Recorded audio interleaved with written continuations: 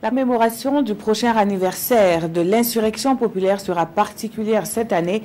La promesse est faite par des organes de la société civile qui dénoncent un mauvais traitement de ce dossier. Elles annoncent une marche meeting le 31 octobre. Le point sur la conférence de presse animée ce matin avec Roger Kam et Wendata Nathalie Kaouri. 14 organisations de la société civile a déploré la situation sociopolitique qui prévaut au Burkina Faso quatre ans après la survenue de l'insurrection populaire. Les représentants de ces OSC sont remontés contre toute la classe politique, opposition en majorité, qu'ils accusent de traiter le dossier de l'insurrection avec mépris.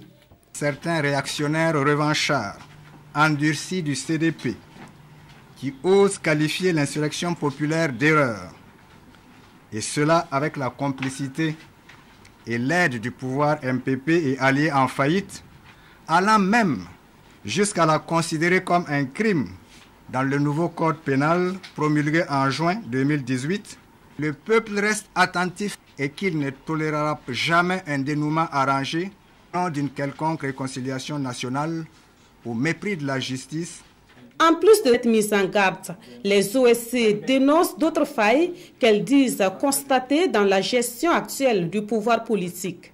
Au mal récurrent de l'impunité constamment dénoncée, viennent se greffer des velléités de remise en cause des libertés publiques, ainsi que les réalités dramatiques, persistantes de la vie chère, de la corruption, sur fond d'une terrifiante donne terroriste Partant de ce constat, cette coalition d'OSC appelle à la mobilisation générale pour marquer le quatrième anniversaire de l'insurrection populaire.